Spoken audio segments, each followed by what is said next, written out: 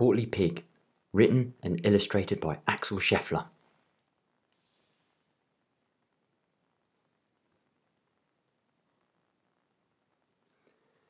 Portly Pig was worried that he felt too pink and clean.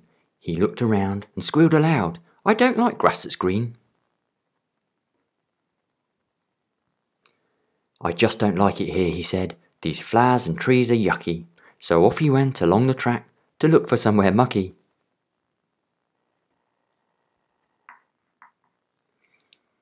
Then in a corner of the field he found a muddy pool.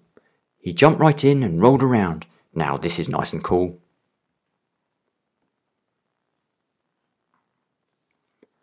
Oh, Portly Pig just loved the mud. He splashed and splashed all day.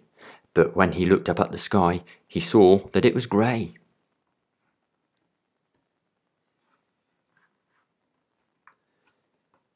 Portly thought he'd trot back home and clambered sadly out, but as he squelched along he felt some raindrops on his snout.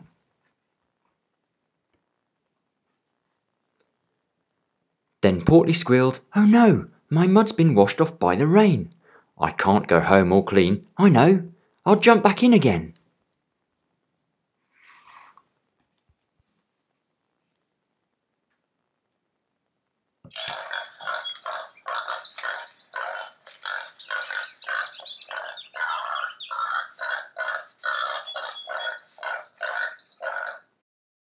Thanks for watching.